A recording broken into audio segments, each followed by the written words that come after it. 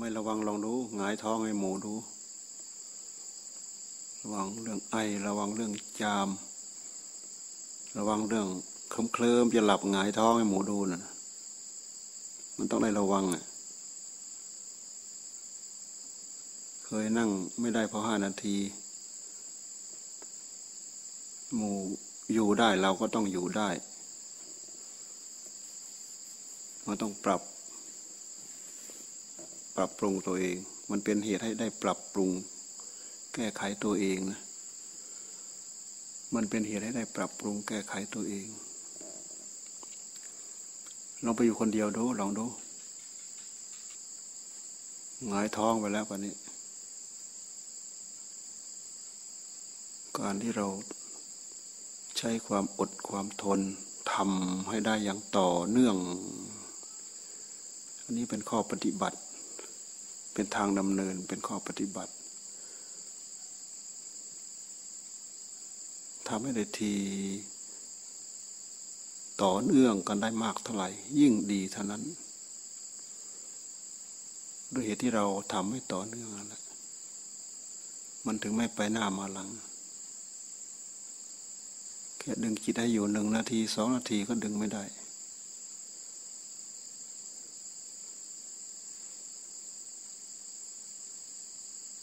ขยับอยู่ตรงนี้แหละ เมื่อไรจะขยับตรงนี้ไปได้ เมื่อไรจะเราขยับจะขยับไปได้ เมื่อไรเราจะตั้งได้ตรงนี้ ตั้งไข่ตรงนี้ ตั้งล้ม ตั้งล้ม ตั้งล้ม ตั้งอยู่ตรงนี้เมื่อไรจะตั้งได้ พยายามตั้งให้มันได้ ต้องอดต้องทนเป็นบาทเป็นฐานนึกตั้ง ความพอใจขึ้นมาเนี่ยธรรมฉันทะ น้อมนำตั้งความพอใจขึ้นมาฉันทะ หนุนวิริยะเข้ามา ให้มันต่อกันเหมือนห่วงลูกโซ่นั่นเกาะกันเกาะกันต่อกันต่อกันต่อกันต่อกันต่อกันต่อกันทุกขณะจิตไป ไม่ทิ้งคำบริกรรม พุทโธ พุทโธ พุทโธ พุทโธ เราเราสามารถปรับปรุงเปลี่ยนแปลงแก้ไขได้ ด้วยตัวของเราเนี่ย บางช่วงเราก็ลองหายใจยาวๆลองดู เช่นดูเหมือนเราหายใจไม่เต็มท้องเนี่ยเราก็พยายามหายใจยาวๆดู หายใจให้เต็มปอดลองดู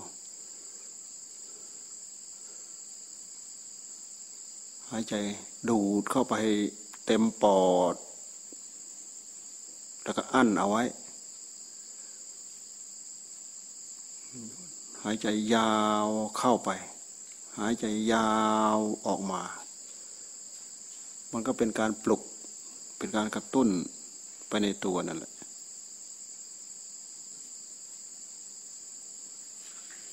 บริกรรมกำกับอยู่ในนั้นนะพูดเข้าไป ไม่ต้องพูดที่ริมปากนะพูดในใจ ถ้าพูดที่ปากมันจะขาดใจอีกแล้วแหละ เพราะมันยาวโทมันจะขาดใจแล้วโทออกมา โทที่ใจ พุทธที่ใจ โทที่ใจ เอาใจ เอาใจบริกรรม เอาใจว่า ไม่ใช่เอาดินลิ้นลกเล็กลกเล็กลกเล็กปากบุมิบบุมิบบุมิบไม่ใช่ เอาใจว่าจริง ๆ มันถึงจะถึงใจ เอาสติกำกับนั่นแหละ ให้มันรู้ลมเข้ายาว ลมออกยาว หรือไปกลั้นไว้สักระยะหนึ่งก็ได้ไปกลั้นไว้สักระยะหนึ่งก็ได้ ค่อยๆปล่อย โทโทใจนี่อย่าไปโทปากนะโทปากเรียกดูเหมือนหายใจจะขาดใจละ โทเข้าไปโทก็พยายามปลุกสติตัวเองอย่างนี้แหละ ปลุกจิตตัวเองให้มันตื่น พยายามปลุกอยู่อย่างนี้แหละทำอยู่อย่างนี้แหละ จับจุดเล็ก ๆ ตรงนี้แหละให้มันได้ จับให้มันผ่าน พยายามวางให้มันได้รับความสะดวกสบาย หายใจเข้ามันสะดวกสบาย หายใจออกมันสะดวกสบาย ให้มันสะดวกสบายไม่ให้มันขัด พอเริ่มสบาย พอเริ่มสบายมันมันก็เริ่มอยู่มันก็เริ่มสงบ พอเริ่มอยู่เริ่มสงบมันก็เริ่มเริ่มปลื้มเกิดความปลื้มในกายปลื้มกาย รวมถึงปลื้มใจ กิริยายังไงที่ว่าปลื้มกาย ปลื้มใจ เราดู มันเป็นกิริยารวมกันของการเบากายของการเบาใจ ของการอ่อนกายอ่อนใจ ของการคล่องตัวคล่องตัว มันเริ่มรู้สึกมีรสมีชาติ มีความสงบ มีความแช่มชื่น มีความกระยิมยิ้มย่อง ที่เรียกว่าปลื้มปลื้มตาปลื้มใจปีติ ปีติ ความปลื้มสักหน่อยหนึ่งเราก็จะอิ่มความปลื้มเป็นปีติแล้วก็ไปทิ้งคำบริกรรม บริกรรมเข้าไป ปีติมันหากมี เราไม่ต้องทิ้ง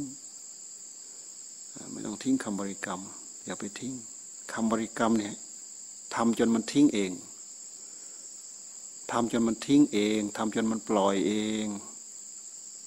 จะว่ามันเหนื่อย หรือจะว่ามันเบื่อ หรือจะว่ามันอิ่ม ให้มันปล่อยเอง จะว่ามันปล่อย หรือจะว่ามันทิ้ง หรือจะว่ามันหยุด ก็ให้มันหยุดเองให้มันปล่อยเองให้มันวางเอง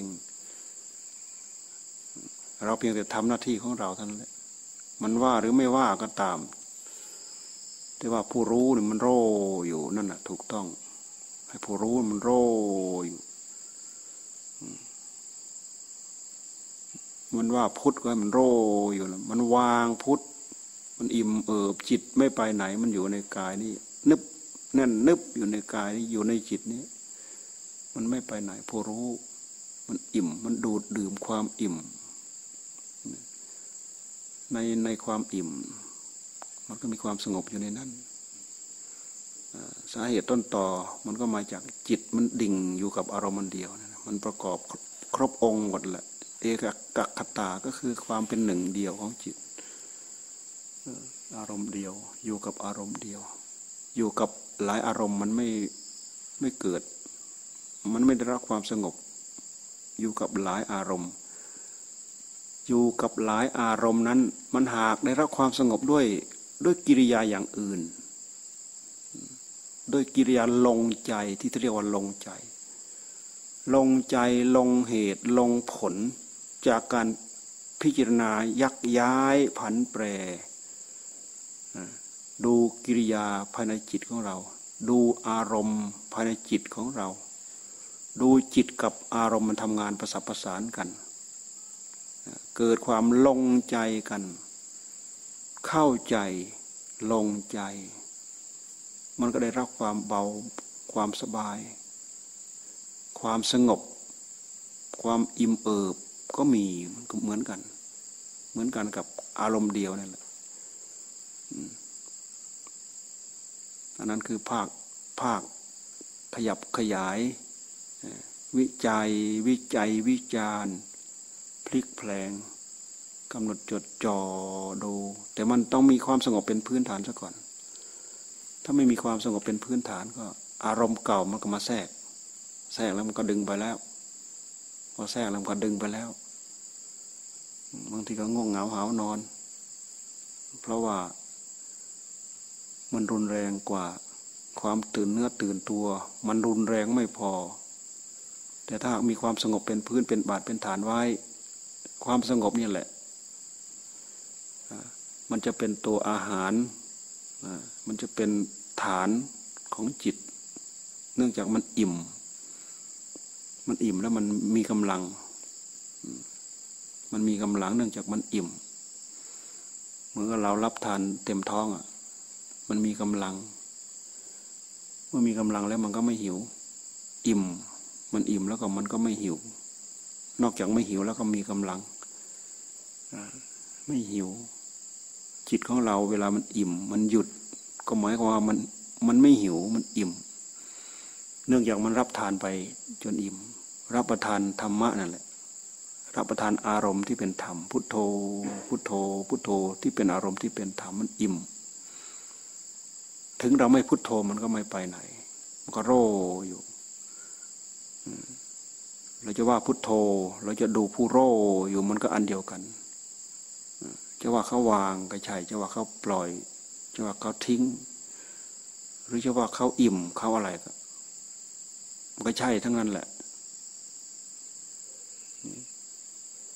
เรามาตรงนี้จิตเราอิ่ม จิตเราอิ่ม จิตเรามีกำลัง เมื่อจิตเรามีกำลัง กิเลสมันก็แทรกจิตของเราได้ยาก เราสามารถเอาจิตมาทำงานได้ทำงานได้ทำงานก็งานมาพิจารณาคลี่คลาย พิจารณาดูธาตุดูขันของเราเนี่ยแหละ เพราะเราหลงขัน เราหลงธาตุเราหลงขัน เราหลงสังขารของเราเนี่ย สังขารรูป สังขารนาม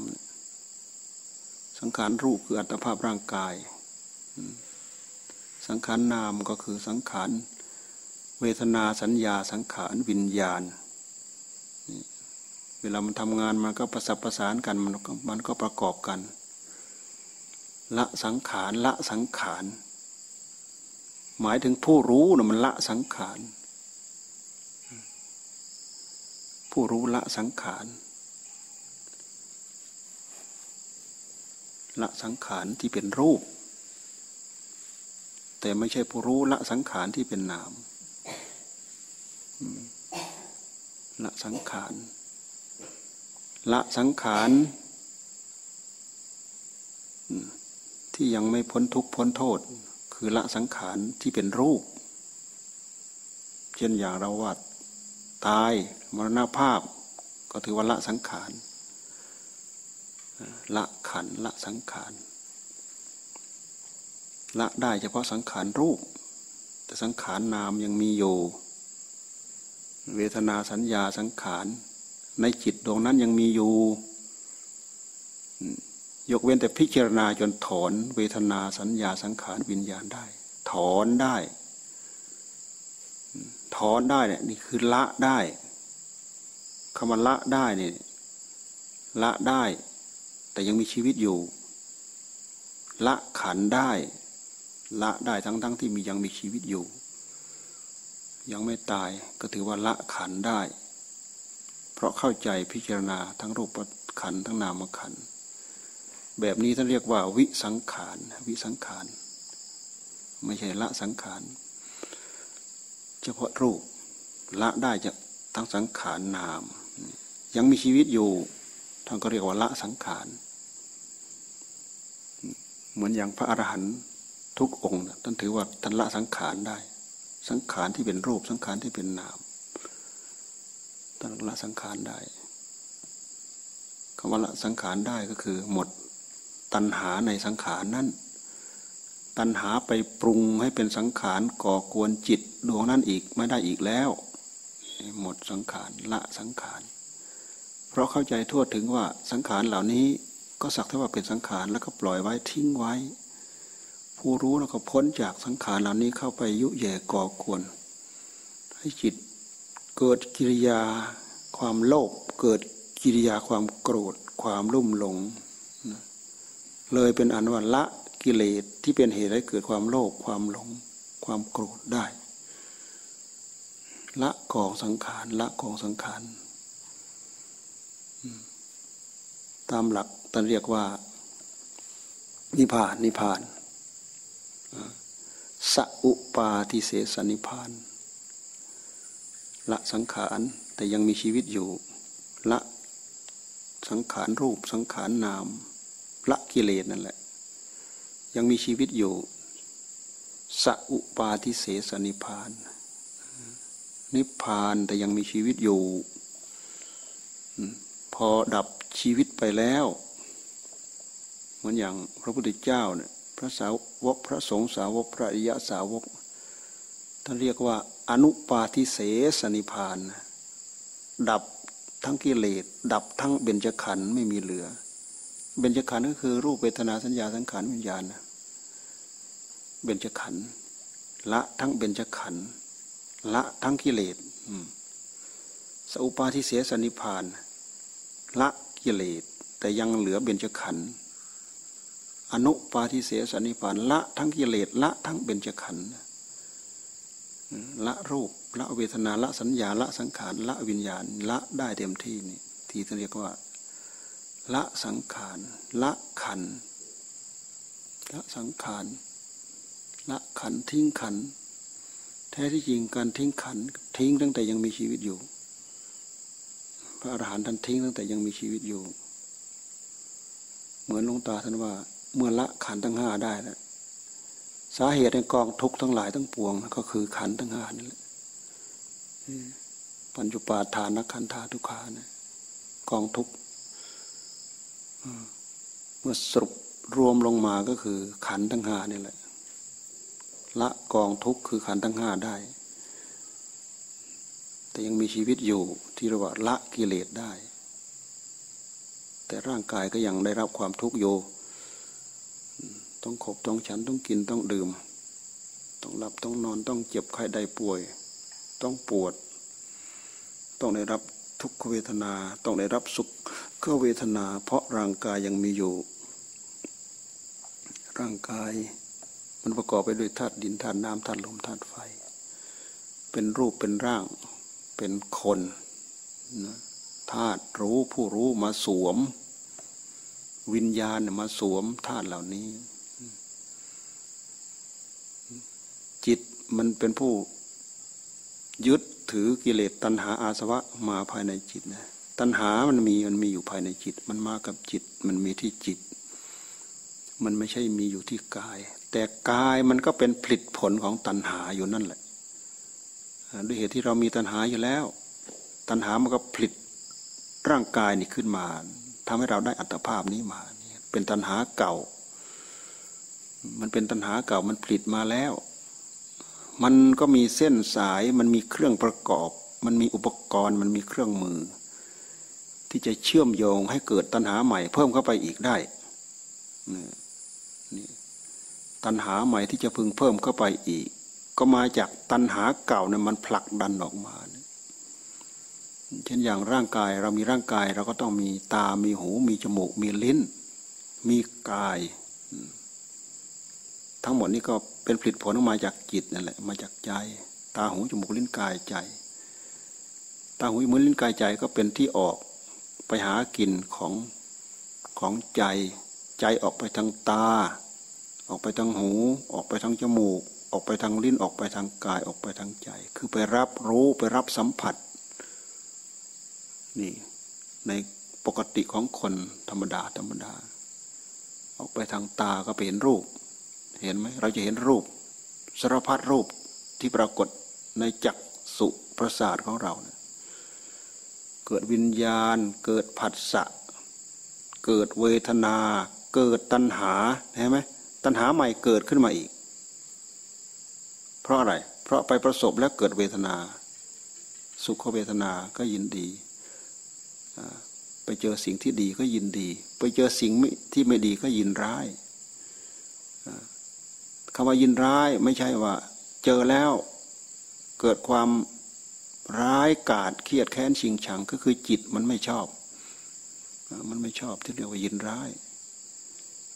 ยินร้ายบางอย่างบางเรื่อง ก็เป็นเหตุให้เดือดดานเกี่ยวกราดอาฆาตพยาบาทตึงตังอย่างนั้นก็มี แต่ความไม่ชอบนะท่านใช้คำว่า ยินร้าย ยินดีกับยินร้าย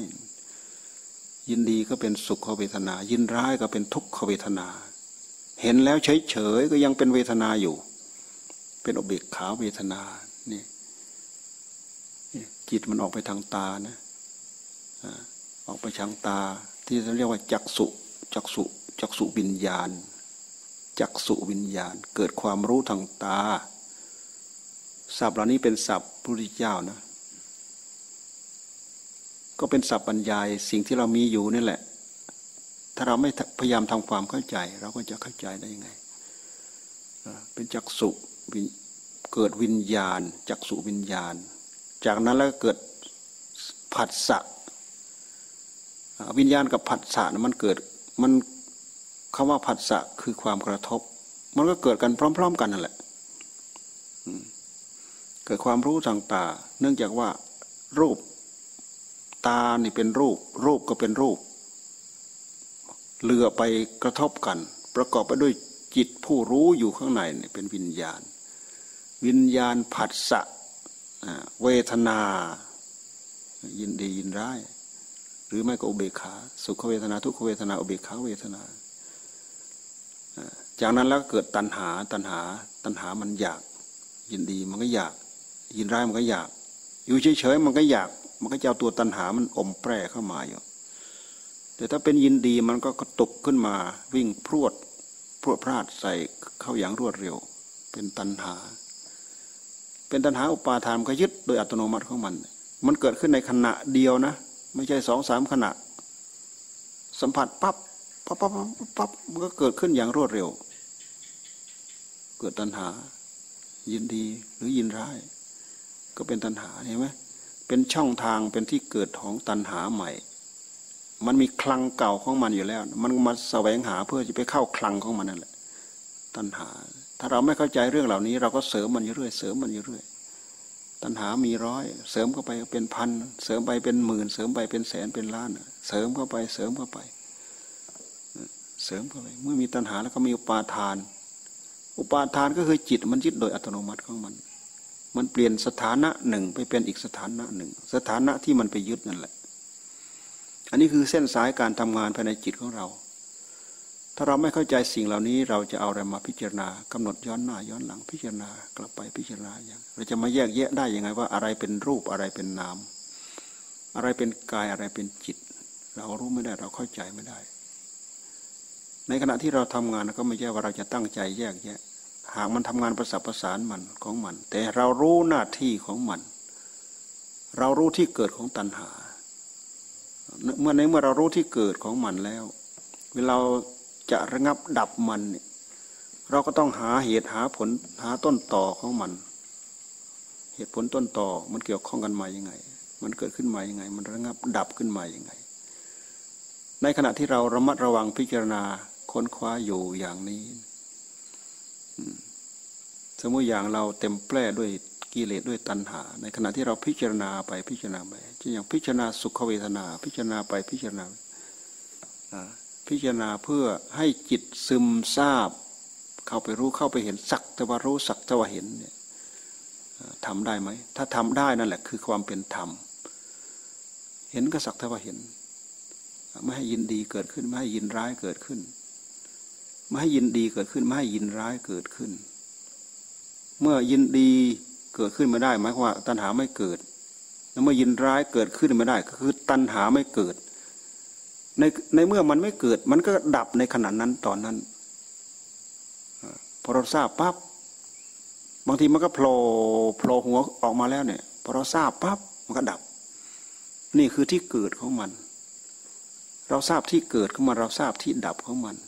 แล้วเราก็พยายามกำหนดจดจ่อต่อกรขยับกันอยู่อย่างนี้แหละ เพื่อให้ให้ทันมัน จน จนสามารถรู้ระลอกแล้วระลอกอีกระลอกแล้วระลอกอีกกำหนดจดจ่ออยู่อย่างนี้ มันจะมีเข้าใจเล็ก เข้าใจมากเข้าใจน้อย เข้าใจลึกเข้าใจตื้น ทันมากทันน้อยทันลึกทันตื้น คือทันตัณหาเนี่ยแหละมันก็ดับมาก ดับน้อย ดับเล็ก ดับน้อย ดับเรื่อย ดับบ่อย ดับเรื่อยๆดับเข้าใจมาก ๆ เข้า จากนั้นเราก็ย้อนเข้าไปข้างใน พิจารณาขุดคุยสาเหตุต้นต่อของมันที่มันเกิดก็เพื่อให้จิตของเราเข้าถึงหลักธรรมชาติอย่างแท้จริงที่แท้จริง คือธรรมธรรมชาติตา ธรรมชาติรูป ในขณะเดียวกันจิต ผู้รู้มีสติสัมปชัญญะมีปัญญานั่นแหละกรองไปในขณะเดียวกันนี่เราพูดตัวอย่างเดียวคือตัวอย่างตากับรูป มันจะมีหูกับเสียงอีก ในระหว่างที่เราตาดูตาเนี่ยหูมันก็ได้ยินได้เหมือนกัน เพราะมันทำหน้าที่คนละอย่าง แต่ถ้าหากเราไม่เข้าใจเรื่องเหล่านี้ เราเห็นเป็นอันเดียวกัน เหมือนอย่างอะไรล่ะเหมือนอย่างเราดูดูคนพูดเนี่ยเราก็เห็นด้วย เราก็ได้ยินด้วย เห็นปากเขามุบมิบมุบมิบด้วย แล้วก็ได้ยินเสียงเขาพูดออกมาด้วย เข้าใจเรื่องราวในเสียงนั้นอีกด้วย เข้าใจเป็นอันหนึ่งอันเดียวกัน แต่ถ้าเราพิจารณาในแง่ธรรมะเนี่ยมันจะขาดเป็นช่วงเป็นช่วงเป็นช่วงเป็นช่วง ทั้งรูปทั้งเสียงนั่นแหละรวมมาถึงกลิ่น รวมมาถึงรสรวมมาถึงผัสสะร่างกาย ร่างกายผัสสะผัสสะคือสัมผัสทางกายเนี่ยจิตสัมผัส จิตสัมผัสมันก็นึกถึงเรื่องราวเก่าๆนั่นแหละเช่นอย่างสัมผัสร้อนสัมผัสอ่อนสัมผัสร้อนสัมผัส เย็นสัมผัสแข็งสัมผัสกระด้าง สัมผัสนิ่มนวลสัมผัสด้วยอำนาจของตัณหา สัมผัสด้วยอำนาจของตัณหา เมื่อเมื่อตัณหาสัมผัสเกิดขึ้นมาแล้ว ก็มีความยินดีมีความพอใจ มันก็เกิดอุปาทานคำว่าเกิดอุปาทานก็คือเกิดความมั่นหมาย ถ้าเราปล่อยให้มันเกิดขึ้นบ่อยครั้งเข้าบ่อยครั้งเข้าบ่อยครั้งเข้า ตัวนี้แหละ มันจะเป็นตัวที่ขยายตัณหา ขยายความอยาก ตัณหาแหละมันเป็นตัวขยายความอยาก ความอยากคือตัณหามันขยายไปเรื่อย ขยายไปเรื่อย ขยายไปเรื่อย จากนึกนึกคิดคิดธรรมดา มันก็เสาะหาจนได้ จนได้เสพได้สมได้เสวยของมัน เนี่ยที่ไปที่มาของตัณหาเนี่ยมันจุดประกายตั้งแต่เล็ก ๆ จากตากับรูปจากหูกับเสียงนั่นแหละมันขยับขยายมา ทำให้เราหากรรมหาผลตอบแทนของมันเสริมมันเข้าไปเรื่อยเสริมเข้าไปเรื่อยเสริมเข้าไปเรื่อยเราพิจารณาย้อนไปดูไอ้สิ่งที่เราเสพติดนะเช่นอย่างอะไร เช่นอย่างบางคนติดเหล้าเนี่ยบางคนติดบุหรี่เนี่ยเนี่ยบางคนติดเหล้าบางคนติดบุหรี่เราพิจารณาดูง่ายๆเนี่ยมันก็เกิดขึ้นมาจากอย่างนี้แหละ โดยด้วยเหตุที่เราไม่ได้กรองให้มันเพราะไม่เพราะเราเพราะเราไม่ได้กรองให้มันแล้ว แสดงมันเกิดความปรุงแต่ง หลับตามก็ปรุงแต่งขึ้นมาได้ เกิดผัสสะสัมผัสเช่นอย่างไรเช่นบุหรี่มันก็สัมผัส สัมผัสอะไรสัมผัสปากสัมผัสจมูกสัมผัสหน้าอกสัมผัสคอ มันทำให้เกิดรสชาติอย่างนั้นอย่างนั้นอย่างนั้นขึ้นมาเนี่ยคือผัสสะเวทนายินดีพอใจเสริมเข้าไปเสริมเข้าไปเสริมเข้าไป ตัณหาก็เสริมเข้ามา เกิดอุปาทาน อุปาทานคือยึดยึดอารมณ์นั้น เอ้ยสักหน่อยหนึ่งงุดงิดแล้วฮะต่ออีกแล้วชักต่ออีกแล้วงุดงิดงุดงิดต่อชักอีกแล้วนี่คือเส้นสายมันเกิดขึ้น มันเกิดขึ้นอย่างนี้เราพิจารณาดูสิ อยากไหมล่ะ อยากหรือไม่อยากหรือจำเป็นจำเป็นหรือไม่จำเป็น เราดูไปที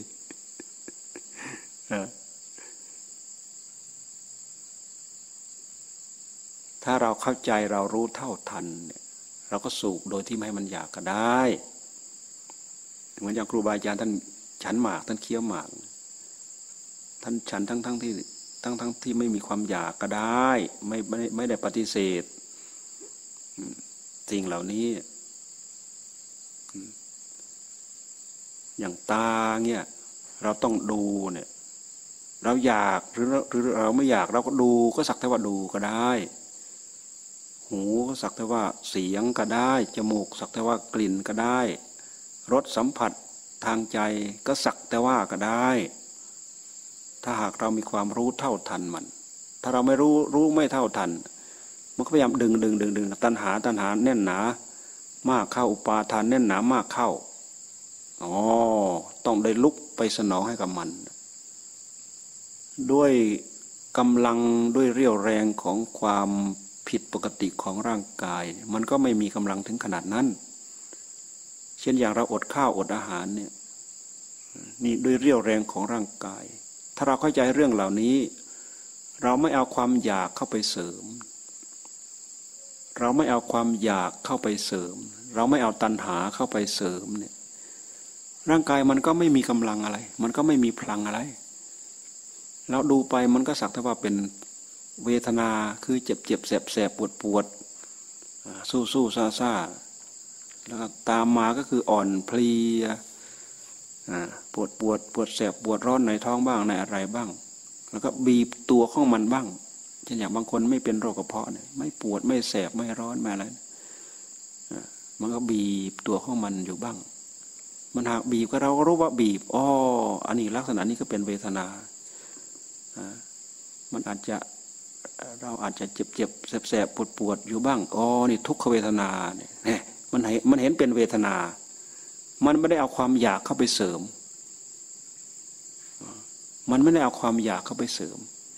ถ้าเป็นเอาความอยากเข้าไปเสริมนะมันนึกปรุงต่อ ตัณหาแหละมันพาปรุง ปรุงนู้นปรุงนี้โอ้ยนึกถึงชิ้นไก่โอ้ยนึกถึงชิ้นอะไรนึกถึงก๋วยเตี๋ยวนึกถึงอะไรสารพัดอะ นึกถึงนาว นึกถึงมะม่วง นึกถึงไอ้สีมันเปรี้ยวๆนะโอ้ยน้ำย่อยนี่เลอะเยิ้มเข้ามาเต็มปากนะกลืนน้ำลายดังอึกหุ่นเนี่ยความอยากมันแทรกเข้ามาอย่างนี้แล้วก็ดูที่ก็คืออะไร เส้นสายของมันทั้งหมดน่ะ ตัณหาทั้งหมดนั่นแหละพิจารณาดูเข้าไปสิ นี่คือความจริง เพราะฉะนั้นการปฏิบัติธรรมเนี่ย มันช่วยผ่อนคลายสิ่งเหล่านี้ได้ไหม ช่วยผ่อนได้คลายได้บำบัดความหิวด้วยตัณหาภายในใจได้ ในเมื่อเราเพียงแค่เรารู้พิจารณารู้เท่ารู้ทัน เราก็เริ่มแก้ไปเรื่อยขยายวงไปเรื่อยขยายวงไปเรื่อยขยับไปเรื่อยตามต้นมันไปเรื่อยรู้เหตุรู้ปัจจัยของมันเข้าไปเรื่อยจนกว่ามันจะหมุนหมุนจนสุดฤทธิ์ สุดฤทธิ์สุดเดชของมัน เราก็ถึงความจริง เข้าถึงความจริงอย่างใดอย่างหนึ่ง ด้วยเหตุที่เราเราไม่ได้ตั้งจิตตั้งใจที่หามันเข้าไปด้วยด้วยด้วยกำลังที่เพียงพอของมันเอง เราจะได้รสรับรสชาติที่แปลกที่ตื่นที่ปรับเปลี่ยนจริตนิสัยจิตใจอะไรต่ออะไรไปหมดเลย ในขณะนั้นตอนนั้น การปฏิบัติธรรม แต่สิ่งเหล่านั้นเกิดขึ้นเอง ไม่ใช่เราจะตั้งใจให้เกิด เพราะฉะนั้นท่านจึงว่าปัญญาญาณ ปัญญาหรือปัญญาญาณมันเกิดขึ้นเอง ตั้งใจให้เกิดมันไม่เกิดหากแต่ว่าทำเหตุจนเพียงพอแล้วมันเกิดเองมันเป็นเอง มันเข้าใจเองมันรู้เอง ตั้งใจจะให้เกิดมันก็ไม่เกิด ที่เรียกว่าปัญญาปัญญาญาณการพิจารณาแบบนี้ท่านเรียกว่า วิปัสนาวิปัสนา เวลามันเห็นผลเหมือนกับเป็นปัญญาญาณแล้วเขาเรียกว่าเป็นวิปัสนาญาณเป็นวิปัสนาญาณนี่คือผลจากการปฏิบัติธรรม เป็นแบบเรากะเราเกณฑ์ไม่ได้ เราทำมากเท่าไหร่ เราทำน้อยเท่าไหร่ถึงจะได้ทำแบบเราทำไม่หยุดไม่หย่อน เหมือนสีไม้ให้เกิดไฟสีอย่างถูกต้องตามพิธี สีไปเรื่อยๆสีไปเรื่อยสีไม่หยุด สีไปจนร้อนร้อนเต็มที่ จนมันออกเป็นขมเหลาดำๆร้อนทูจนมันขมเหลาจากขมเหลาดำๆมันมันออกเป็นฐานแดงๆจากฐานดำๆมันออกเป็นฐานแดงๆจากนั้นแล้วก็ จากนั้น เดี๋ยวมันก็ได้เปลว ได้ไฟใช้ ต้องขยับถึงขนาดนั้นถึงขั้นนั้นสมมติเราถูไปถูไปร้อนสัหน่อยหนึ่งแล้วหยุดพอเราหยุดแล้วความร้อนก็หยุดด้วยทำไมไฟมันจะติดมันไม่ติด เราก็เทียบเราก็อุปมามาที่ความภาคความเพียรในใจของเรา เราก็ทำอยู่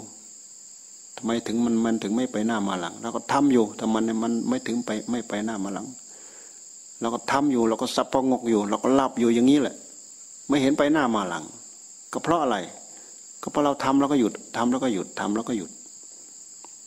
บางทีกายก็ยังไม่ออกจากกาม จิตยังไม่ออกจากกาม ครุ่นคิดแต่เรื่องกาม กามนี่มันเป็นปฏิปักษ์ต่อธรรม กามก็คือตัณหานั่นแหละ เรานั่งเสริมแต่ตัณหา นั่งเสริมแต่กาม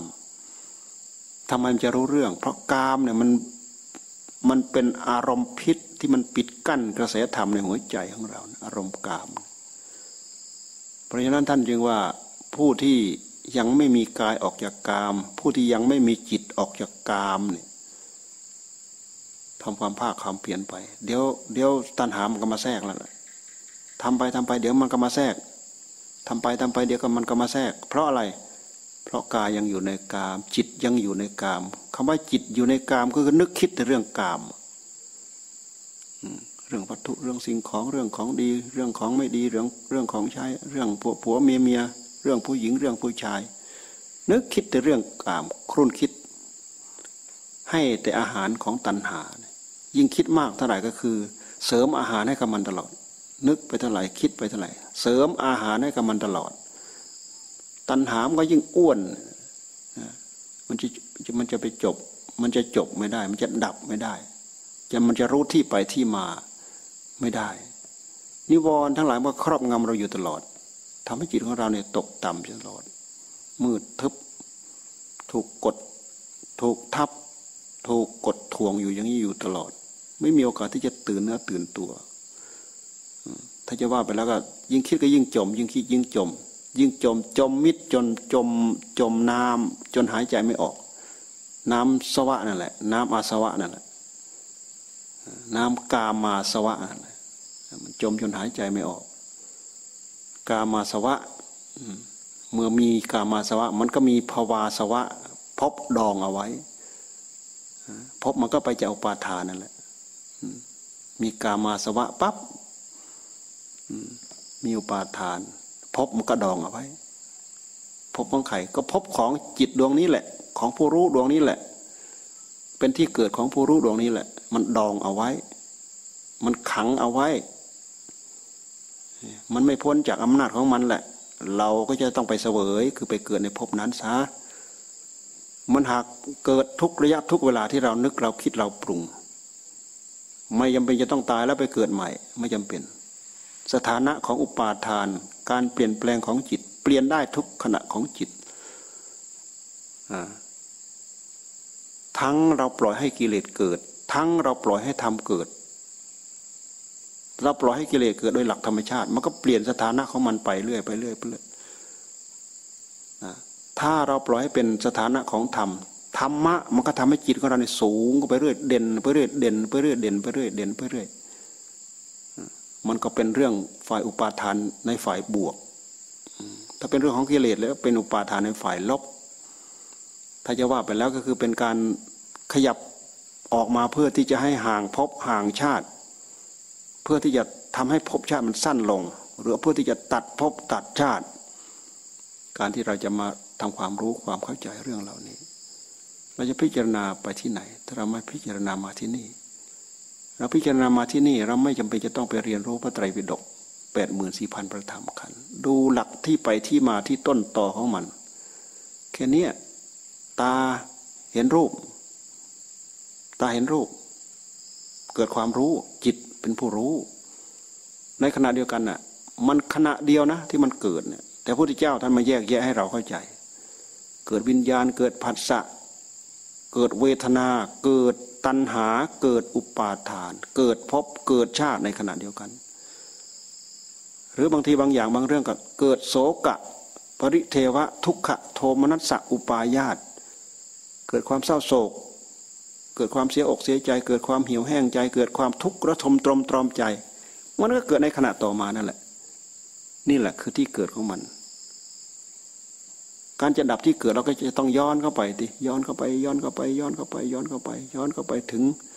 ถึงตาย้อนเข้าไปถึงรูป ย้อนเข้าไปถึงใจนามธรรมคือผู้รู้ ย้อนถึงการทำงานของมัน มันจะทำงานสัมผัสสัมพันธ์กันตลอด เพราะอะไร เพราะคนเรามันมันคนเป็นมันไม่ใช่คนตาย มันทำงานสัมผัสสัมพันธ์กันตลอด บางทีหูทำงาน บางทีจมูกทำงาน บางทีลิ้นทำงาน ถ้าในขณะเรารับทานอาหารเนี่ย มันก็เกิดขึ้นในขณะเดียวกันนี่ที่ที่เป็นรูป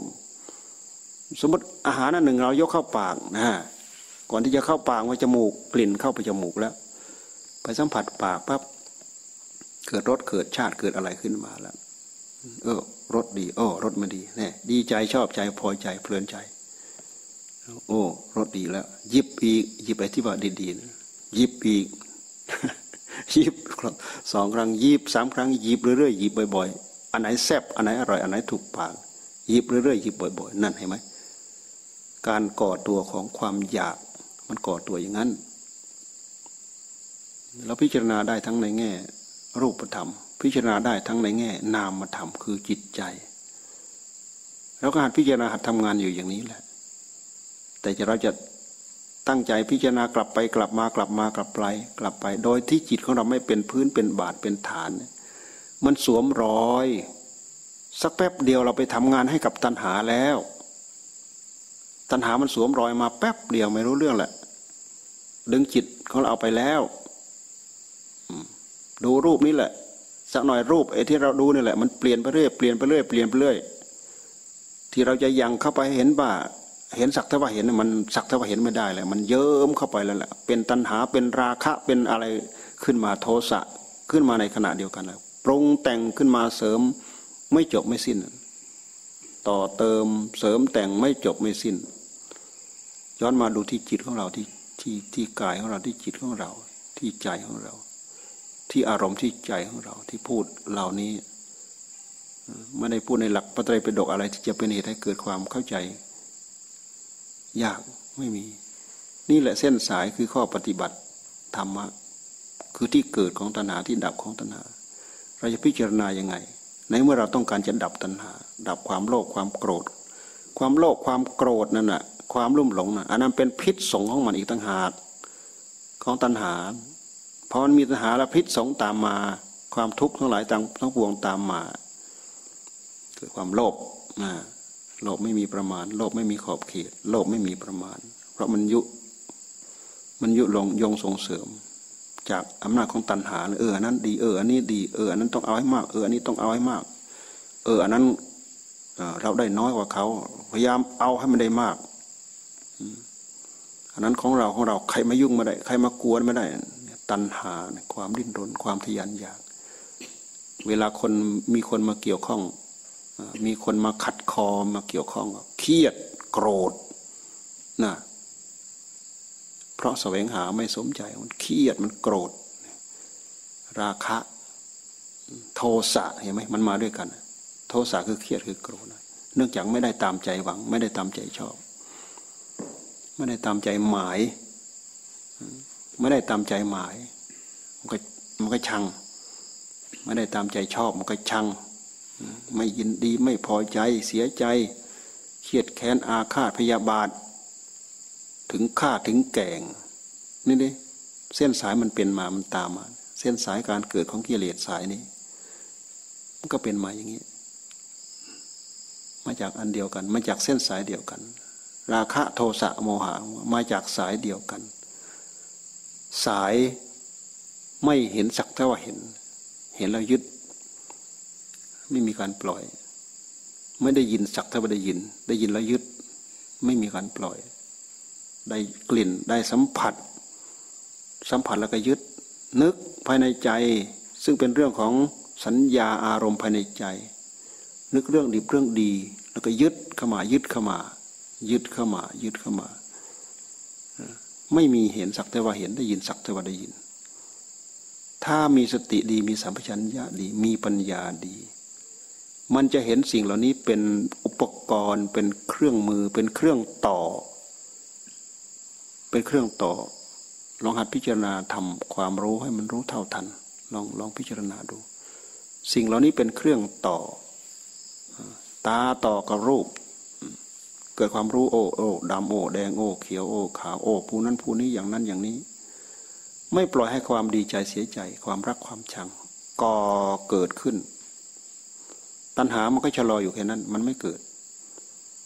ถ้าเกิดก็คือตัณหาใหม่เพิ่มเข้าไป ไปผนวกไปบวกกับตัณหาเก่าที่มันมีอยู่แล้ว การที่เราระวังสิ่งเหล่านี้ไม่ให้ตัณหามันเกิดได้ มันแค่ตัณหาใหม่ มันไม่เกิด ในขณะที่ไม่เกิดเราก็พยายามย้อน พิจารณาขุดคุย พิจารณารูปเสียงกลิ่นรสสัมผัส พิจารณาธาตุขันของเรานะ ประสับประสานกันกับรูปธรรมกันกับนามธรรม พิจารณาเพื่อให้เกิดความรุ่มหลงของตัวเองมากเข้ามากเข้ามากเข้า พิจารณาเกิดความรู้เกิดความเข้าใจ เราจะเห็นว่าทุกสิ่งทุกอย่างทั้งหมดเป็นหลักธรรมชาติ เป็นธรรมชาติของของกายเป็นธรรมชาติของใจที่มันทำงานสัมผัสสัมพันธ์กันประสับประสานกัน ไม่ปล่อยให้ตัวกิเลส ที่เรียกว่าตัณหาภายในใจ ที่มันสร้างรกสร้างรากให้กับเรา มันแสดงตัวได้ แล้วก็ขยับย้อนหลังไปเพื่อที่จะเล่นงานมัน ไปขุดไปคุยไปคลี่ไปคลายไปนู่นไปนี่มันหลงมันติดมันพัวพันอยู่ตามธาตุตามขัน ตามรูปธรรมตามนามมาทำเนี่ยพิจารณาย้อนกลับไปย้อนกลับมาให้เกิดความเข้าใจ ในเมื่ออันใหม่มันเกิดไมาได้ อันเก่าเราก็พยายามขุดพยายามคุยอันใหม่มันเกิดไม่ได้ อันเก่าเราพยายามขุดพยายามคุยพยายามดึงออก พยายามลากออก มันก็จะเบาไปมันก็จะบางไป แล้วมันก็จะหมดไป ในเมื่อของใหม่เกิดไม่ได้ของเก่ามันก็หมดไป หมดไปหนึ่งก็หมดหมดไปเท่าไหร่ก็นับได้เลยแหละ หมดไปเท่าไหร่ก็นับได้เลย สักหน่อยหนึ่งอันใหม่ไม่เกิด อันเก่าหมดไปเรื่อยหมดไปเรื่อยหมดไปเรื่อยในที่สุดก็หมด ถ้าเราจะเทียบเมื่อเรามีเงินในกระเป๋านะ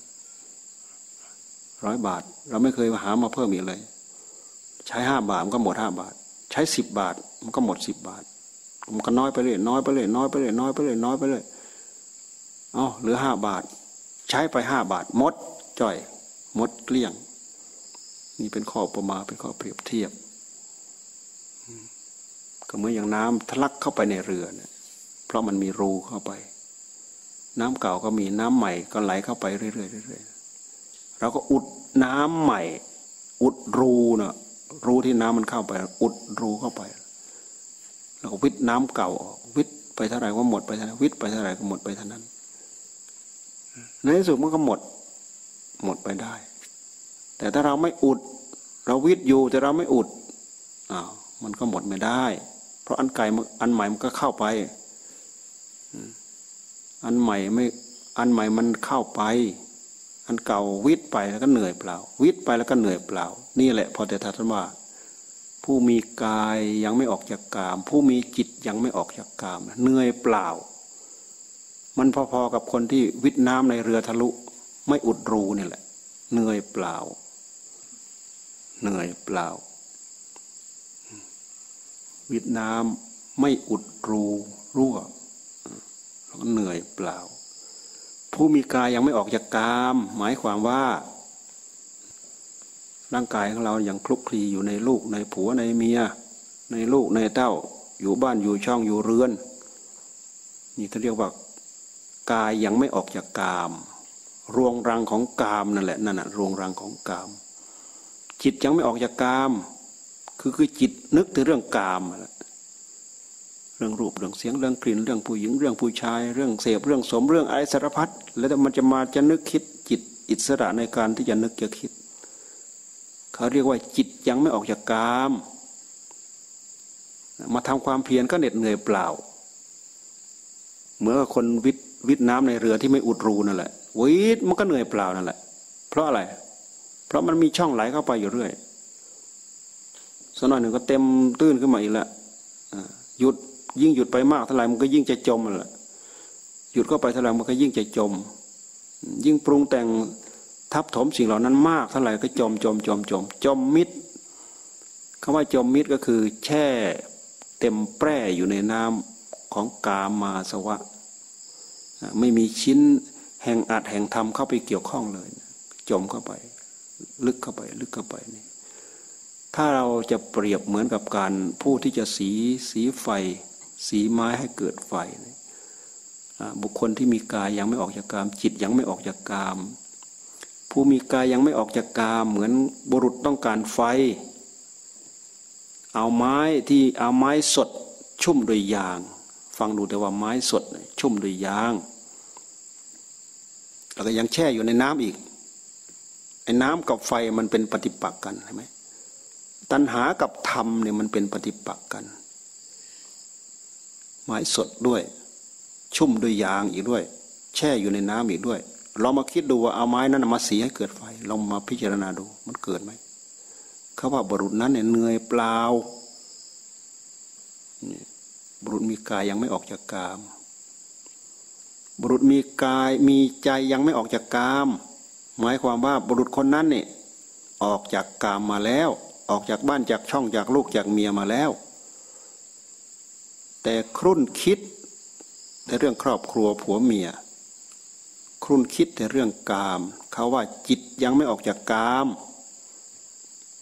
เหมือนบุรุษเอาไม้สด ชุ่มด้วยยาง ถึงแม้ว่าจะวางอยู่บนบก ไม่ใช่วางอยู่ในน้ำนะ เอาไม้สดชุ่มด้วยยางนั้นมาสีให้เกิดไฟเหน็ดเหนื่อยเปล่าอีก เพราะไม้มันยังสดอยู่ ไฟที่ไหนมันจะติดได้ท่านว่าเหน็ดเหนื่อยเปล่า ท่านจึงว่าผู้มีกายยังไม่ออกจากกามจิตยังไม่ออกจากกามเหน็ดเหนื่อยเปล่ากายยังไม่ออกจากกาม เราสามารถเอาจิตออกจากกามได้ไหม เราอยู่บ้านอยู่ช่อง มีผัวมีลูกผัวตัวเมียนั่นแหละ เราสามารถเอาจิตเราออกจากกามได้ไหม เราสามารถเอาออกจากกามได้ ถ้าหากเราตั้งใจภาวนาจิตได้รับความสงบ เพราะความสงบของจิตนั้นน่ะทำให้จิตห่างจากอารมณ์กาม อารมณ์กามก็คือจิตมันพานึกเรื่องรูปเรื่องเสียงเรื่องกลิ่นเรื่องรสเรื่องสัมผัสเรื่องอะไรต่ออะไรนั่นแหละ การที่จะให้จิตออกจากอารมณ์กาม ต้องให้จิตอยู่กับอารมณ์ธรรม พุทโธ พุทโธ พุทโธ พุทโธ พุทโธนี่เป็นอารมณ์ธรรมทำให้จิตอยู่กับอารมณ์พุทโธอยู่อย่างนี้ จิตมันจะเริ่มห่างออกจากกาม ทั้งๆทที่เรายังอยู่บ้านนั่นแหละ ยังไม่ออกมาวัดบาอารามอะไรหรอกทำจิตให้สงบสงบจากอารมณ์ของกามได้ ผู้ที่ทำจิตให้ได้รับความสงบเป็นสมาธิ แข็งแรงมั่นคง เราเรียกว่าคนนั้นเอาจิตออกจากกามได้อาออกจากกามได้ในขั้นสมถะ เราก็ต้องดูแลรักษาประคับประคองเอาไว้ไม่ให้มันเสื่อม จากนั้นแล้วก็เอาอารมณ์เอาความหนักแน่นมั่นคงของจิตนั่นแหละมาพิจารณาอัดทำให้เกิดความรู้ให้เกิดความเข้าใจ นี่มันสำคัญที่ใจนะ เพราะฉะนั้นในครั้งพุทธกาลก็ตามในครั้งในสมัยหลวงปู่มั่นหลวงปู่เสาก็ตามเนี่ยในครั้งพุทธกาลก็ตามเนี่ยบุคคลบรรลุธรรมทั้งๆทที่ยังอยู่บ้านครองเรือนอยู่ อย่างจิตตะคราบดีเนี่ยก็เป็นอนาคามีอยู่บ้านนะ ก็อยู่บ้านนั่นแหละ เป็นคราเป็นเป็นอนาคามีคำว่าอนาคามีก็เกือบหลุดแล้ว เกือบสุดแล้ว ยังเหลืออีกเปาะหนึ่งเกือบสุดแล้ว ทำลายสกายทิฏฐิ วิจิกิจฉากามราคะปฏิฆะกามราคะคือความกำหนัดยินดีในรูปผู้หญิงผู้ชายเนี่ยตัดได้ ปฏิฆะคือความโกรธเนี่ยตัดได้ กามราคะปฏิฆะสกายทิฏฐิวิจิกิจฉาศิลปตะปรามาตกามราคะปฏิฆะสกายทิฏฐิยึดมั่นถือมั่นในกาย วิจิกิจฉาไม่สงสัยในคุณของพระพุทธเจ้าพระธรรมพระสงฆ์ศิลปตะปรามาตไม่ถือศีลพรตถือศีลพรตคือถือถือศีลเป็นเรื่องอถือศีลเป็นเรื่องขลัง ไม่ได้มาพิจารณา เกี่ยวกับเรื่องจิตของตัวเอง ถือลัทธิอย่างนั้น ถือลัทธิอย่างนี้ ลัทธิอย่างนั้นถูกลัทธิอย่างนี้ผิด ถือมั่น ถือมั่นเขาเรียกว่ารูปคลำศีลพรตไม่ตั้งใจปฏิบัติจริงจังเพื่อที่จะให้ได้มรรคได้ผลอย่างแท้จริงรูปรูปคลำคลำละได้เนี่ยพระโสดาบันละได้ พระนาคพระสกิทาคามีก็ทำทำราคะกับทำโทสะให้เบาบาง เท่านั้นเองทำราคะให้เบาบางเข้าไปอีกทำโทสะ ความโกรธภายในจิต ยังหมดยังไม่หมดนะ ยังมีอยู่นะ แค่ทำให้เบาบาง แต่พระอนาคามีเนี่ยละกามราคะได้ ละปฏิฆะคือความโกรธได้ ละความโลภละความโกรธได้ ยังเหลือแต่ความหลงนั่นยังเหลือแต่ความหลงก็เหลือเปาะเดียว เหลือเปาะเดียว นี่สามารถทำได้เนี่ยจิตตะกราบดีเนี่ยทำได้ ยังอยู่ในครอบครัว หัวเมียนั่นแหละ เพราะฉะนั้นถึงพูดว่าไม่เอากายออกจากกามเนี่ยเอาจิตออกจากกามได้ไหมจิตเราออกจากกามได้ต่อเมื่อจิตเราสงบ จิตเราสงบจิตไม่นึกคิดเรื่องอารมณ์ของกามนี่คือจิตเอาจิตออกจากกามได้ แม้แต่เรามาบวชเป็นพระเป็นเนรแล้วก็ตาม ถ้าเรายังเอาจิตออกจากกามไม่ได้ มันก็เหมือนคราวาเขาอยู่บ้าน เขายังเอาจิตออกจากกามไม่ได้ เหมือนกันเลยไม่ใช่ว่ามาอยู่วัดแล้ว มาบวชถือเพศแล้ว กิเลสข้างในมันจะหมดไป มันก็ไม่หมดไป เพราะกิเลสมันอยู่ที่ใจ การที่เราบวชนี้มันได้เพศ ได้เพศ อุตมเพศท่านถือว่าเป็นเพศอุดม เพศที่สูง อุตมเพศ ถ้าพูดถึงศีลก็ถือศีลมาก พูดถึงข้อวัดกิจวัตรต่างๆ ที่พุทธเจ้าท่านวางไว้ก็ละเอียดละออมากเข้าไป แล้วก็มาพูดถึงศีลก็ปรับ ปรับเล็กปรับน้อย มีข้อมากีดมากันไม่ให้เราผิด ข้อเล็กข้อน้อยข้อใหญ่ รวมเต็มไปหมด เป็นข้อประพฤติเป็นข้อปฏิบัตินี่เราได้เพศ มาถือศีลมาประพฤติธรรมมาปฏิบัติธรรมแต่สิ่งเหล่านี้เราไม่ปฏิเสธ สิ่งเหล่านี้ มีผลมีอนิสงส์เพราะข้อปฏิบัติของเรา มันจะแตกต่างไปจากความเป็นคราวาสคราวาสรวมล้วนแต่ปฏิบัติเพื่อหมกมุ่นอยู่ติกับรูปกับเสียงกับกลิ่นกับรสกับสัมผัส แต่เราพยายามหมกมุ่นเพื่อสงบระงับจากสิ่งเหล่านั้น โอกาสมันเอื้ออำนวยมากน้อยไม่เหมือนกัน มากน้อยไม่เหมือนกัน นี่เราพูดถึงอะไร เราพูดถึง ข้ออุปมาว่ามีกายออกจากกามมีใจออกจากกามผู้มีกายยังไม่ออกจากกาม ผู้มีจิตยังไม่ออกจากกามเหมือนกับบุคคลที่พยายามวิทวิทน้ำโดยที่ไม่อุดรู้นั่นแหละ น้ำวิทก็เหนื่อยเปล่า วิทแล้วไม่หมดมันไหลเข้าไป วิทไม่หมดก็ไหลเข้าไป วิทอยู่อย่างนั้นก็เหนื่อยอยู่อย่างนั้นแหละ ต่อเมื่อผู้มีกายออกจากกามและจิตออกจากกามแล้ว กายก็ไม่คลุกคลีเกี่ยวกับกาม จิตไม่คลุกคลีเกี่ยวกับกาม มาทำความเพียร ถ้าจะเทียบกับบุรุษสีไม้ให้เกิดไฟเหมือนบุรุษที่มีความชำนาญ ไม้นั้นก็เป็นไม้แห้ง แล้วก็มาทำอย่างถูกวิธีว่าทำยังไงไฟมันถึงจะติดแล้วก็ทำไปทำไปทำไปสีไป สีไป อาศัยการเสียดสีของของการสีไม้นั่นแหละ จะเป็นเหตุให้เกิดไฟ สีไปสีไปสีไปแล้วก็หยุด สีไปสีไปสีไปแล้วก็หยุดอ้าวไฟที่มันจะเริ่มร้อนขึ้นพอเราหยุดมันก็เย็นลง สีไปสีไปแล้วก็หยุด สีไปสีไปแล้วก็หยุด อันนี้คือความเพียรเราหย่อนยานทำหยุดทำหยุดทำหยุด นี่เป็นบรุษที่สามโอกาสที่จะได้ไฟใช้มันก็ไม่ได้ ถ้าเราจะเทียบเหมือนกับเราปฏิบัติธรรมเมื่อใดเมื่อใดเราเราเราจะได้มักได้ผล มันไม่ได้ เหมือนคนที่สีไม้เกิดไฟมันไม่ได้ไฟใช้นั่นแหละ เพราะทำหยุดทำหยุดทำหยุด อย่าลืมว่างานของเราถ้าหากเราหยุดกิเลสมันก็แทรกมาไอ้ตรงช่องตรงที่เรามันหยุดนั่นแหละพอเราหยุดก็คือเราไม่ทำเราก็ปล่อยจิตล่องลอยเรื่อยเปื่อยไป ไม่มีสติไม่มีสตังไม่มีอะไรแหละ กิเลสก็แทรกเข้ามาทุกระยะทุกเวลามาก่อรกก่อรากสร้างเนื้อสร้างตัว แน่นหนามันคงในหัวใจเราไปขัดมันอีกแล้วไปขัดมันอีกโทไปทโยดอีกละโทไปโทไปโยดอีกแล้วเป็นข้ออุปมาให้เราได้พิจารณา นี่เหมือนบุรุษคนที่สามสีแล้วหยุดสีแล้วหยุด ทั้งทั้งที่สีถูกต้อง ไม้ก็เป็นไม้แห้งอ่าไม้แห้ง สีถูกต้องตามมาวิธี ด้วยเหตุที่ทำหยุดทำหยุดไฟจึงไม่ติด บุรุษที่สี่หมายถึงบุรุษที่รู้จักวิธีทำที่ถูกต้องแล้วสีไปเรื่อยไม่หยุด สีไปเรื่อย สีไปเรื่อยสีไปเรื่อยสีสีสีหนักหน้าเข้าไปเรื่อยทำความเพียรหนักหน้าเข้าไปเรื่อย เพื่อเพื่อได้อัดได้ทำได้มักได้ผลทำไปเรื่อยไม่หยุด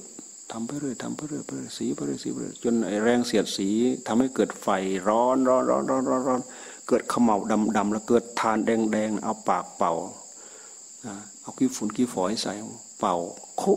ได้ไฟใช้แน่ยิ่งรู้ว่าใกล้จะติดยิ่งขยับใหญ่แล้วแหละควันออกเอาควันออกแล้วโอ้ดำดำแล้วโอ้แดงแล้ว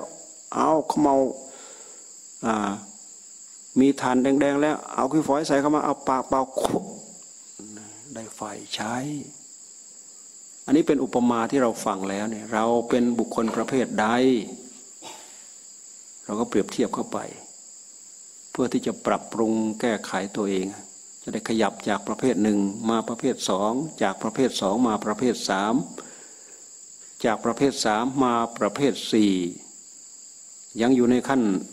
ประเภทหนึ่งประเภทสองเนี่ยมันก็เหมือนกับพิษน้ำไม่อุดรูรั่วนั่นแหละเหนื่อยเปล่า คำว่าเหนื่อยเปล่านี้เราก็ไม่ปฏิเสธ ผลกรรมที่ตกทอดต่อเนื่อง ที่ท่านเรียกว่า วิบากกรรม วิบากกรรม เราทำไปผลวิบากอันนี้มันกลายมันเริ่มกลายเป็นนิสัยเริ่มเริ่มกลายเป็นอุปนิสัยในเมื่อเรามาฝึกมาฝนมาอบมาลม มันก็เริ่มกลายเป็นนิสัย มันก็เริ่มกลายเป็นอุปนิสัย ไม่ใช่เราทำแล้วมันทิ้งไปเฉยๆไม่ใช่ คนเราหากมีนิสัยนั่นแหละ มันถึงมีความรัก มีความชอบใจ มีความพอใจ มีความอยากได้อยากดีอยากมีอยากเป็น มันเป็นเหตุดนบันดาล คือสิ่งเหล่านี้แหละมันดนบันดาล เราไม่รู้จะใช้คำว่าอะไร เราก็ใช้คำว่าดนบันดาล ให้เรานึกอยากได้อยากดีอยากมีอยากเป็น มีกระจิตกระใจที่จะจัดที่จะสร้างที่จะทำมันถึงจะเป็นไปได้ ถ้าเราไม่มีพื้นฐานเหล่านี้ เราก็เฉยนั่นแหละ มองก็มองเฉย มองเหมือนลิงอะเหมือนโกกอะแหละไม่รู้เรื่องเหมือนพระเจ้าไปเจออุปกะอุปกาชีวกนั่นแหละตั้งแต่พระองค์เดินไปเทศปูปัญจวัคคีย์ไปพบอุปกาชีวกระหว่างทาง อุปการชีวก มันก็เป็นนักบวชอาชีวกแปลว่านักบวชนักบวชนักบวชพวกอาชีวกนะ เป็นนักบวช เห็นพระพุทธเจ้าผิวพรรณวันณะแปลกหน้าเคารพหน้าเลื่อมใส แต่เจ้าของนั้นไม่ใช่เลื่อมใสหน้าเคารพหน้าเลื่อมใสแล้วก็ถาม โอ้ยผิวพรรณท่านผ่องใส ใครเป็นครูเป็นอาจารย์ของท่าน ท่านชอบใจธรรมะของใครพุทธเจ้าท่านก็ตอบแล้ว เราเป็นสยามภูสยามภูแปลว่าไม่มีครูไม่มีอาจารย์ เป็นเองตรัสรู้เอง สยามภูแปลว่าพระผู้เป็นเอง เราเป็นสยามภูโอ้ยทำไมมันโตแท้ละเหลือเชื่ออะเหลือเชื่ออะแลบลิ้นปลิ้นตาถุยน้ำลายเดินผ่านไปเฉยไม่ได้อะไร นี่หรือนี่คืออะไร คือคนไม่มีนิสัยไม่มีอุปนิสัย มันก็ไม่ได้ ถ้าคนมีนิสัยคนมีอุปนิสัยนี่ แค่ได้ยินชื่อเท่านั้นแหละวิ่งใส่เลยแหละ อย่างสุทัตตะ สุทัตตะ ใครสุทัตตะ ใครรู้จักบ้าง สุทัตตะฮะสุทัตตะอนาถปินทิกะเศรษฐีเนี่ยแค่ได้ยินชื่อเขาว่า พระพุทธเจ้า พระพุทธเจ้า แค่ได้ยินชื่อเท่านั้นนะนอนไม่หลับคืนนั้นทั้งคืนนอนไม่หลับ อยากไปกราบเดี๋ยวนี้ อยากไปไหว้เดี๋ยวนี้ อยากไปฟังเทศเดี๋ยวนี้ นี่คือคนมีนิสัย อันนี้เราก็สามารถทดสอบตัวเราได้เหมือนกันนะเห็นเขาพูดเห็นเขาคุยเรื่องศีลเรื่องธรรมเรื่องอะไร บางคนนี่จิตใจจืดชืดเฉยไม่เห็นเกิดความกระตือรือร้นอะไร ที่จะอยากได้อยากดี อยากมีอยากเป็นเหมือนเขา ที่จะมาปลดมาปล่อยมาลดมาละ มาเลิกมาอะไรต่ออะไรเนี่ย ไม่มี เราก็เอามาทดสอบจริตนิสัยของเราได้นี่คนเราไม่ใช่ล้างมือเปิบชุบมือเปิบ เรื่องทุกอย่างงานทุกอย่างเราเคยก่อรกก่อรากก่อร่างสร้างเนื้อสร้างตัวมาด้วยกัน สร้างมากสร้างน้อยทำมากทำน้อย บางทีอาจจะทำมาน้อย แต่ด้วยเหตุที่เห็น สร้างความเลื่อมใสศรัทธา แล้วก็สร้างผลงานให้เกิดขึ้นให้มากขึ้น มากกว่าคนอื่น ในปัจจุบันทันด่วน เอาเป็นเอาตายใส่เข้าไปเลย ไม่เห็นแก่เหน็ดแก่เหนื่อย แก่ทุกข์ยากลำบาก ขอให้เป็นอย่างนี้ขอให้เป็นอย่างนี้ขอให้เป็นมันก็เหมือนกับเราเดินทาง แทนที่เราจะเดินเฉยๆแต่เราวิ่งเอานะมันก็ย่อมถึงคนที่เดิน คนที่เดินก็เดินไปสบายๆแต่เราวิ่งเอาถ้าเราจะเทียบเหมือนกับเราเดินจากนี้ไปหนองอ้อนคนหนึ่งคลานเอา คนหนึ่งกลิ้งเอา คนหนึ่งคลานเอา คนหนึ่งเดินเอา คนหนึ่งวิ่งเอาเนี่ยใครจะถึงก่อน ก็คนวิ่งก่อนนะถึงก่อน สมมติอย่างเขาจะไปถึงภายในภายในหนึ่งชั่วโมง เดินไป ถ้าเราวิ่งเอาเราก็อาจจะถึงครึ่งชั่วโมงถ้าวิ่งเอาเป็นเอาตายใส่เขาว่าอาจจะยี่สิบนาทีนี่นี่ขอเปรียบเทียบ การทำงานสิ่งเหล่านี้ก็เหมือนกัน คนที่มีนิสัยเด็ดขาดจริงจังเท่านั้น ที่จะสามารถทำอย่างนั้นได้ คนอดอดแอดแอดคนอ่อนแอท้อแท้เหลวไหลเละตุ้มเปะ มันก็จับอะไรไม่อยู่ ฟังแต่ว่าเหลวแล้วก็ไหล จับอยู่ไหมเราไปกำน้ำแข็งอยู่นะมันเละแล้วมันเหลวมันเหลวแล้วก็มันไหล จับอะไรได้ไม่เป็นชิ้นเป็นอันน เละตุ้มเปะเหลวไหลเราก็ดูที่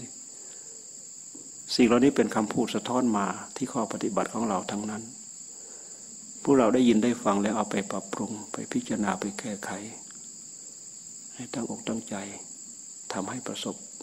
ผลสำเร็จสมภาคสมภูมิสมกับที่เราอุตส่าห์เสียสละเวลาเวลา จากบ้านจากช่องจากพ่อจากแม่มาบวชมาเรียน มาฝึก มาฝึกฝนมาอบรม มาประพฤติมาปฏิบัติ เพื่อจะได้อัดได้ทำหากเราตั้งอกตั้งใจมาก มันก็จะสมความมุ่งมา่ปรารถนาไม่มากก็ต้องน้อย ตั้งใจน้อยมันก็ได้น้อย ตั้งใจมากก็ได้มาก ตั้งใจเอาเป็นเอาตายมันก็ยิ่งได้มากกว่า คนที่ทำไปตามปกติ ต้องตั้งความอุตสาห์พยายาม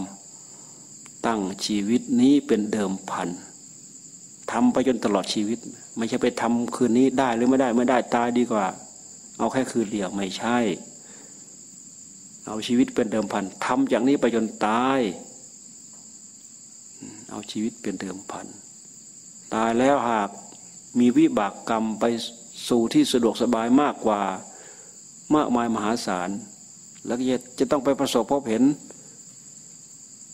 สถานที่บุคคล ที่จะอำนวยให้เราได้ประพฤติได้ปฏิบัติ เพราะมันเป็นเรื่องของกรรมจัดสรรกรรมดีมันก็จัดสรรเราไปสู่ที่ดี มันจะไปเสาะจนได้จนเจอแหละเรื่องของกรรม เราไม่ต้องไม่ต้องไปตั้งใจหรอก กรรมมันจัดสรรเอง กรรมมันบันดาลเอง กรรมมันจัดสรรเอง ไม่ต้องเป็นเดือดร้อน ไม่จำเป็นต้องจำเลยซ้ำไป ถึงคราวเขาให้ผลเอง ถึงคราวเขาให้ผลเอง เขาจัดสรรเองเขาเป็นไปเอง ไม่มีอะไรที่จะขลังที่จะศักดิ์สิทธิ์วิเศษวิโสแล้วก็ซื่อตรงเที่ยงตรงยิ่งกว่ากรรมที่เราสร้างเราทำเราสร้างเหตุ ถ้าเราจะพูดแบบเหตุกับผลก็คือเราสร้างเหตุเอาไว้ สร้างเหตุยังไง เราก็ได้รับผลอย่างนั้น ทำกรรมยังไง ผลกรรมมันก็จะต้องเกิดขึ้นตามมาในภายหลัง แล้วก็ตามสนองเราจนได้ นอกจากเกิดขึ้นในปัจจุบันแล้ว เกิดขึ้นในโอกาสต่อต่อไป พบต่อต่อไปชาติต่อต่อไป ชาตินี้ลังไปยังไม่ได้กลับต่อต่อไป พระพุทธเจ้าองค์ต่อต่อไป แต่อย่าตั้งใจยืดยาวถึงขนาดนั้น มันขี้เกียจแบกทุกข์มาก